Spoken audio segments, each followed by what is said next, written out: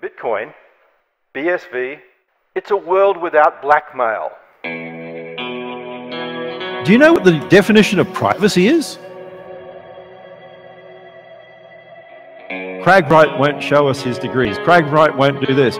Why? I'm not asking for money from you. I'm not asking for a job.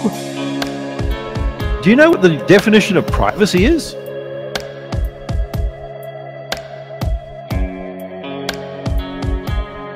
If you could change one thing about your journey with Bitcoin since the beginning, or one thing you've done or not done, what would that be? There have been lots of bumps in the road, lots of hard times, but I still wouldn't change anything. Because we're at the point now where we're scaling, where things are working, and if I could go back and say my life would be easier, I still wouldn't do that. I don't know that it would end up where it is now, where we are actually starting to work. It's about, about connecting, connecting personally, to, everyone to everyone that you want to connect, to, and privately, privately keeping the transaction, transaction records, records for that. For that.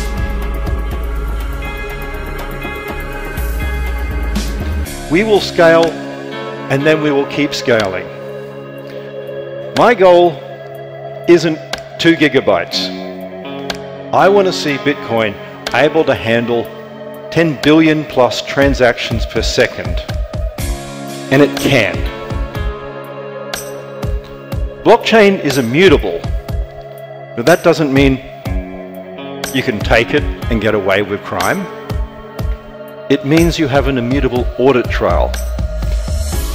Imagine if you have gold. And that gold is stolen. And once you alert people, it becomes a bare grey metal. But when it's returned, it's back to gold. Bitcoin, BSV, all of these can be kept honest. Because honest, 15 times used in the white paper, is what it's really about. Computer hackers break in right now and they succeed because they delete logs. In a future world of Bitcoin, no one will ever hide any trail of what they've done.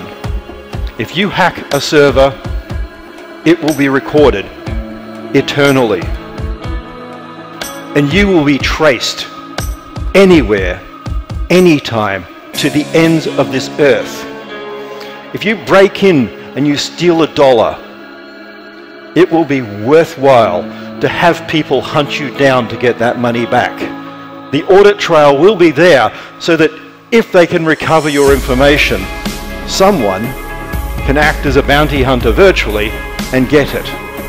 And there's no way to remove that. It's a world without blackmail.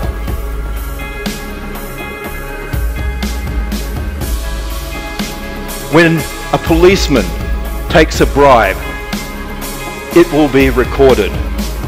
When a government official takes money to grease the wheels, it will be recorded. I see a future where every misdeed is known. That's what Bitcoin's about. Thank you.